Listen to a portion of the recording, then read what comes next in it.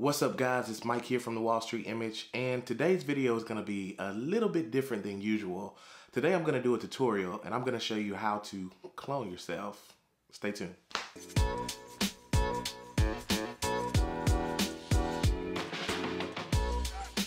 Welcome back to the channel everybody. My name is Micah Sanford and if you're new to the channel, here primarily we focus on how to grow your business. We talk about videography, photography, and we also talk about gear and editing from time to time. And this is one of those videos that I'm actually gonna show you how I did a particular effect on my last video. And if you have not seen that video, I'll link it up above, but here's a short clip of it. Just talk to you guys about one of the biggest mistakes that I've ever made in filmmaking. And as a matter of fact, it actually happened just recently. Wait, bigger than the time that you forgot to plug up the microphone? yeah, it was bigger than that. Pretty cool, right? I know it's kind of weird and trippy talking to yourself. And so I had a lot of people asking me, how did I do that particular effect when they saw it on Facebook and some people saw it on YouTube. A lot of people missed the whole message and were asking me, hey, what about that effect though? And so it really wasn't that hard of an effect. It actually took me two times to do it. Now, needless to say, there are a couple of things that you're gonna need when you're actually shooting the footage for this video. The first thing that you're gonna need is a tripod. It's gonna be impossible to pull this off if you do not have some stable footage. So as you can see, I have my camera set up over there with a tripod against the wall. And so the next thing that you're gonna need is you're gonna need a wide angle lens for your camera. It's gonna be impossible to pull this off if you're shooting on what I'm shooting on right now. And so if you're shooting on a full frame camera, you need something like a 24 or something wider.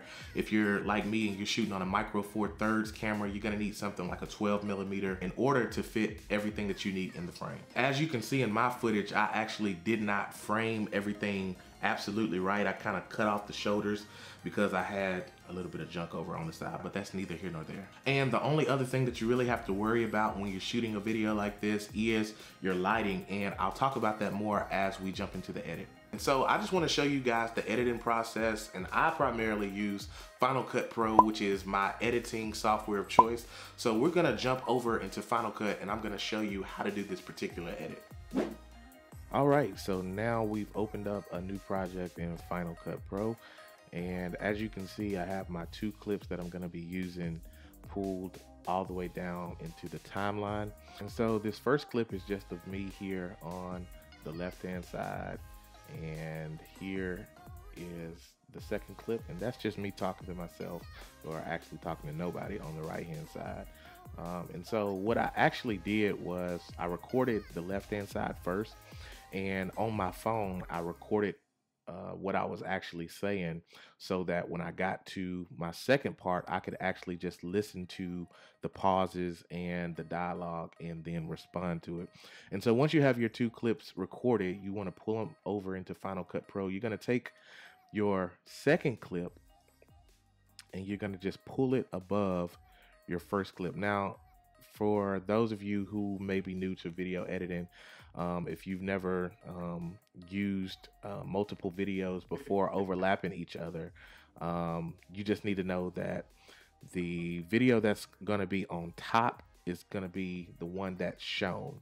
And so the video that's on the bottom is going to be underneath that. So what we're going to have to do is we have to get this part of our video that's on the top we got to get that removed. And the way that we do that, we're going to go over here to our effects tab. And then we're going to go down to mask. And you have a couple different options here. The one that we want to select is the draw mask.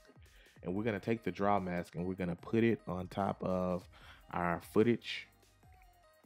And what it's going to allow us to do, you're going to have a couple of options over here. And you're going to take this and you're going to just draw points that you want to mask out. And so because I want this part to be showing, that's the part that I want to keep. So I'll just start here and I got a little bit of the microphone there. So we'll just kind of go around that. And if I change this to 50%, I'll be able to go here and just want to mask around yourself. And the reason I actually put this book bag here, uh, I didn't just put it there for no reason. Um, I actually had to record this video twice, like I mentioned before, and that was because the way I had the light set up, when I was actually masking this part out, there was differences in the light because on the first video, um, the light was actually being blocked, and so it cast a shadow right here, um, and so uh, it didn't really look right when I was masking it. You had a part right here that didn't have a shadow, then you had a part right here uh, that did. So I had to put that book back there um, just to kind of cast the illusion that I was still sitting in the chair. So when I masked it out, it didn't make a big difference. So we're just gonna go here.